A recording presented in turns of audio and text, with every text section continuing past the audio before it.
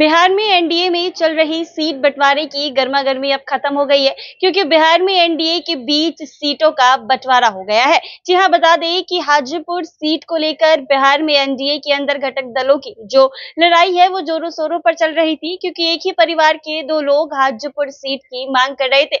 लेकिन ऐसे में इन सब के बीच आज प्रेस कॉन्फ्रेंस करके एनडीए के सीटों का जो बंटवारा है, वो हो गया है। एनडीए में शामिल घटक दलों के बीच का सीटों का बंटवारा जो है, वो हो गया है। दिल्ली में गठबंधन में शामिल दलों की बैठक में सीट शेयरिंग का फॉर्मूला तय कर लिया गया है और अब सीटों के बंटवारे का औपचारिक ऐलान भी कर दिया गया है। दरअसल एनडीए में सीट बंटवारे में हो रही देरी को लेकर काफ़ी सवाल उठ रहे थे। गठबंधन में शामिल दलों के बीच सीट बंटवारे को लेकर सहमति नहीं बन पा रही थी। यही वजह थी कि बीजेपी की तरफ़ से जारी की गई उम्मीदवारों की दोनों ही लिस्ट में बिहार की सीटों के लिए उम्मीदवारों का नाम ऐलान नहीं किया गया था।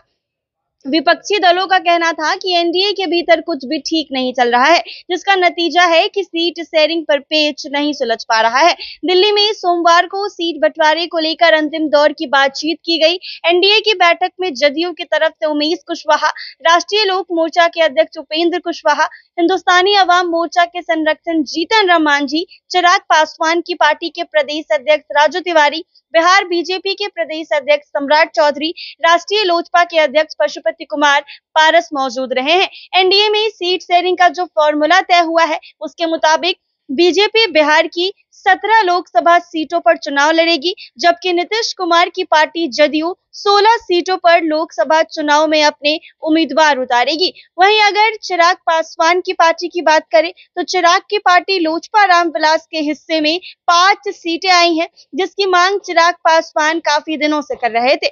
कुशवाहा की पार्टी राष्ट्रीय लोक मोर्चा एक सीट और जीतन राम मांझी की पार्टी हिंदुस्तानी अवाम मोर्चा लोकसभा की एक सीट पर चुनाव लड़ेगी। वहीं सबसे बड़ा नुकसान पशुपति कुमार पारस की पार्टी राष्ट्रीय लोजपा को उठाना पड़ा है, क्योंकि लोकसभा में एक भी सीट नहीं मिली है, क्योंकि इन दोनों चाचा भतीजे में हाजीपुर सीट को लेकर लड़ाई चल रहा था।